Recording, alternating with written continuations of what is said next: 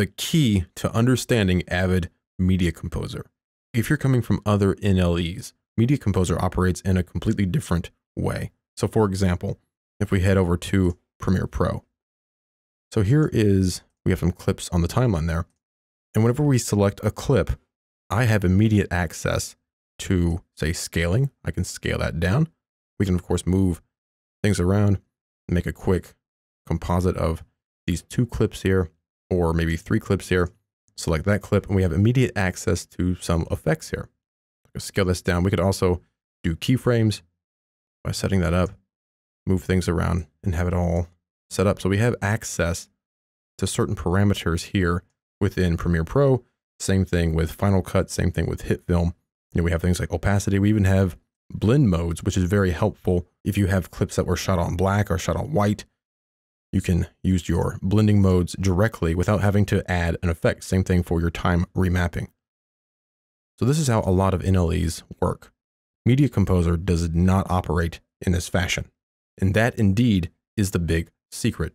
Once you understand that Media Composer is entirely effect based, you will stop trying to make it work like other NLEs.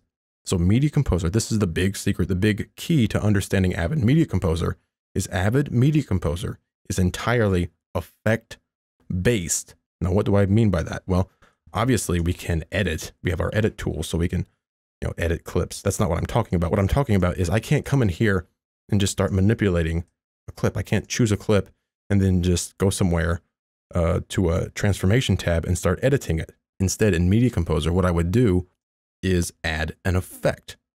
So if I want some of the basic controls that we have in Premiere, for example, I would grab 3D Warp and place that on my clip because Media Composer is entirely effect based. So if there's no effect on the clip, I can't transform it in any way.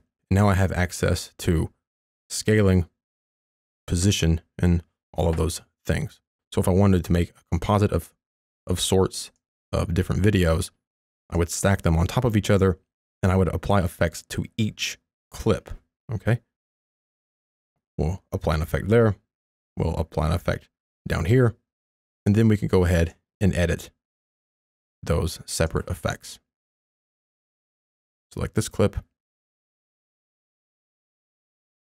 Move it around. Of course, I'd have to make sure my viewer is up there so I can actually see it.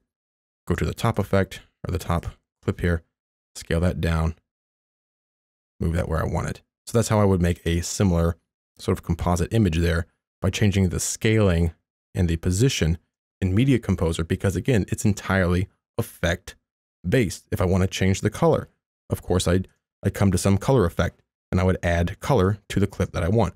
If I want to slow it down or speed it up, I would choose time warp, right?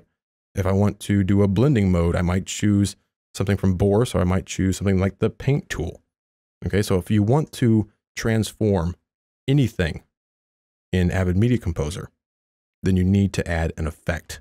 So any transformation I want to make to this clip, I can't just select it. I can't just go to an effects tab with that already pre-populated uh, movements and transformations that I have. I would need to add an effect. Whatever kind of effect you want, they have it for Media Composer.